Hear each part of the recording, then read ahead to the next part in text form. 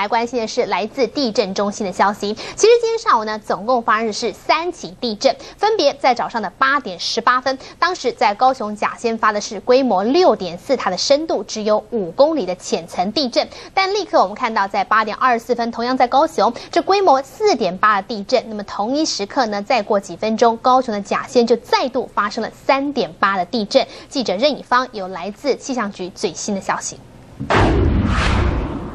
好，各位观众，八点十八分，南台湾朋友已经感受到地牛翻身的威力，而正央就在甲贤乡发生六点四规模的有感地震，这一次的能量相当于两颗原子弹的力量，而且这一次的这个有感地震呢是属于浅层地震，深度只有五公里，所以因此其实全台都有感受到这一次的地震威力。那包含呢，其实地震中心这一次有表示，哦，这一次这个地震的断层带呢，其实呢是属于所谓的破碎断层带，也就是所谓未知数的盲断层。我们来听听地震中心说法。过去有七次，呃，发生那个七起那个，呃，规模五点几的这个地震，但是，呃，这个这一次是最大的，这这是唯一一个超过那个规模六的地震。但是过去曾经有七个规模五点几的这个地震，在这个震央附近的这个呃三十公里的这个范围内，这可以说算罕见或少见的现象。对，就是说，是算是比较比较不常见的，嘿。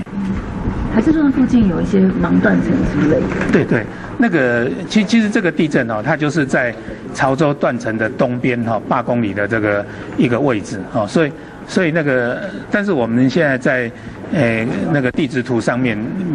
并没有看到这这边有画什么那个诶活动断层了哈，所以所以可可能就是一个。一个地质的这个一个一个破碎带。好，电中心有表示，这次甲仙发生六点四规模的地震，也是今年开春以来的第一起规模比较大的地震。那么此外呢，其实在这个八点十八分一直到现在哦，全台总共发生了六十四次余震，其中有五次有感地震。那么除了主震是六点四的规模之外，第二次余震是四点八，第三次余震是三点八。那么至于在全台目前这一次。主震的部分呢，光是台南跟嘉义就有六级的规模，屏东、高雄也有五级。那么至于这一次地震呢，电中心也表示很有可能是未知数的盲断层。那么至于未来的余震是否还会造成灾情，电中心说